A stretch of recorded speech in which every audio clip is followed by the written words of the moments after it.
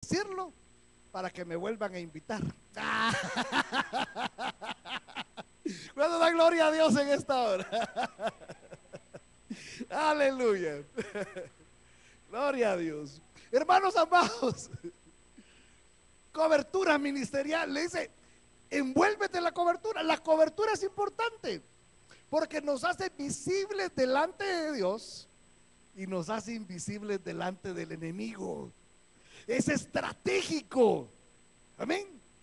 Mire hermano, que Dios ha quitado las cadenas, le da luz, se ciñe las sandalias, el cinto, la cobertura. Pero hermanos queridos, eso permite que atraviese cuatro grupos de oposición. ¿Por Por la cobertura. Hermanos queridos, sin la cobertura, los guardias lo miran, lo detienen. ¿Qué hace el Señor? El Señor no quita los grupos de oposición, no los quita. Siguen ahí. Pero nos hace invisibles ante esos grupos de adversidad. ¿Qué grupo de adversidad te ha tocado a ti? Hermanos, no lo sé. Pero algo va a suceder. O Dios nos hace invisibles, o Dios los hace ciegos a ellos, no sé pero los vamos a atravesar. Vamos a pasar del otro lado. Vamos a pasar al lado de la bendición. Vamos a pasarlo. ¿Cuánto lo creen? Hermanos queridos, oposición sí la hay. Adversidad sí la hay. Y cada uno de nosotros tenemos que ir ubicando cuáles son esos grupos de oposición. A veces está en nosotros mismos, tenemos temores. Hermanos, ya el Señor rompió las cadenas. Ya el Señor nos dio luz. Pero tenemos el miedo de invertir. Y si invierto y si no da. Y si se entran los ladrones y si me asaltan. Santo Dios, tenemos temores en nosotros, de la competencia, de tanta. Tú tienes que ir ubicando cuáles son esos grupos de oposición. Pero sí quiero decirte, hermanos, de que Pedro, cuando está bajo esa cobertura, hermano, logra atravesar esos grupos de oposición. ¿Qué te ha detenido? ¿Tienes luz? ¿Tienes la luz de la revelación de Dios? ¿La tienes? El Señor ya rompió las cadenas y claro que ya la rompió. Pero ¿qué es lo que te ha detenido? No lo sé. Hermanos, los economistas nos hablan de que el año entrante es difícil. La misma situación va poniéndonos adversidades y, grupos, pero pasaremos de esos grupos. Seremos invisibles, los atravesaremos. ¿Cuántos lo creen así? Dile a la persona que está cerca de ti, no temas. Vamos a vencer toda oposición del diablo. Vamos a vencer la oposición del mundo. Vamos a vencer la oposición de la carne. Vamos a vencer la oposición de nosotros mismos. ¿Cuánto dan gloria a Dios en esta hora? ¿Cuánto dan gloria a Dios en esta hora? ¿Cuánto dan un grito de júbilo? Aleluya. Hermanos amados, miren, los cuatro grupos de adversidad se quedan ahí. Y ahora resulta que llegan a la puerta de la cárcel. Ustedes han ido a la cárcel. Visitan el preventivo. ¿Cómo son esas puertas de la cárcel? Con guardias, cerrojos, candados, eh, torres de vigilancia, mallas eléctricas. No es fácil. Hermanos amados, pero dice que esa puerta se abrió por sí sola. Hermanos, a veces hablamos, a veces predicamos y a veces profetizamos. Yo quiero profetizar sobre la iglesia hoy, sobre tu vida, sobre tu casa y declarar en el nombre de Jesús que hay puertas que se nos abren, puertas de bendición, puertas de negocios, puertas de salvación, puertas de viajes, puertas de oportunidades, puertas abiertas para nosotros. ¿Cuántas las reciben? Levanta tus manos y, y repite conmigo, yo paso esa puerta de bendición. Porque la puerta que Dios me abre, nadie la cierra.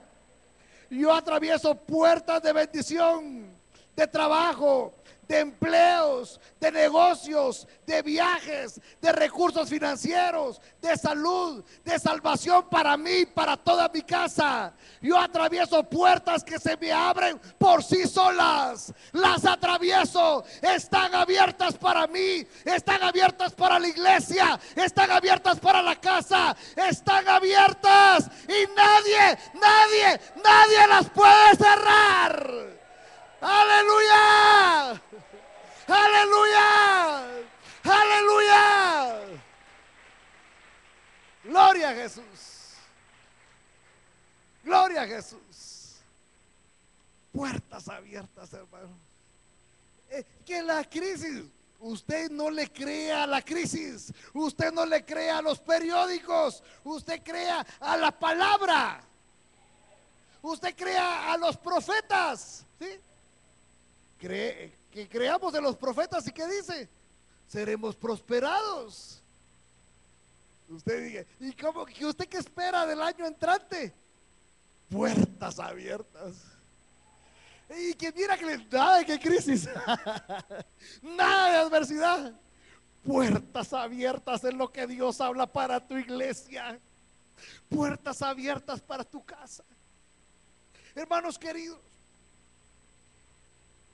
Pedro no entiende qué está pasando. Mira, hermano, él piensa que es un sueño. Él piensa que es una visión. No, no, no, no. No le cae el 20, dicen en México. hermano, y hasta que atraviesa la puerta, le cayó el 20. ah, ahora entiendo. Hermanos queridos, ¿qué te quiero decir con esto? Vienen olas de bendición para ti. Ola de bendición. Ola de bendición. ¿Cuántos la reciben? Ola de bendición. Ola de bendición. Ola de bendición. Ola de bendición. Ola de bendición. Ola de bendición. Para, pero tenemos que estar listos, preparados para agarrarlas. Abusados con las bendiciones. Amén. Dile al que está cerca de ti, abusado con tu bendición.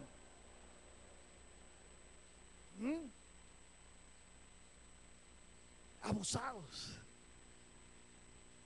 Pedro no, hasta en ese momento es que él no logra comprender, hermanos, que ángel, que se le rompen las cadenas, que tiene luz, que camina y nadie lo detiene, que se le abre la puerta.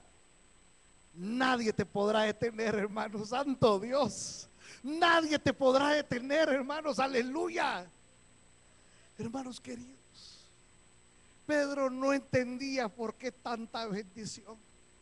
A María se le aparece un ángel y le dice, bendita tú eres entre todas las mujeres, bendito es el fruto de tu vida. Y, María no, no, no entendía. Pero mire, decía, ¿quién soy yo? Decía ella. Pero dice la palabra que lo atesoraba en su corazón. Hay una diferencia. A Zacarías le habla el ángel, pero él dudó. ¿Qué le pasó? Se quedó mudo. Hermanos queridos, atesora esto en tu corazón. Puertas abiertas, bendición tras bendición, olas de poder, olas de promoción para tu vida. Créelo, atesóralo. No, no, no dudes. Hermanos, se cumplirá en nosotros se cumplirá en nosotros. Hermano, hasta en ese momento Pedro vuelve en sí y dice, ahora entiendo, dice, no tienes que esperar, hermanos, tanto para entender que Dios nos ama. Dile al que está cerca de ti, entiende que Dios te ama. Entiende que Él es soberano. Entiende que su favor está con nosotros. Entiende que su misericordia es nueva cada mañana. Entiende que Él extenderá su favor para nuestra casa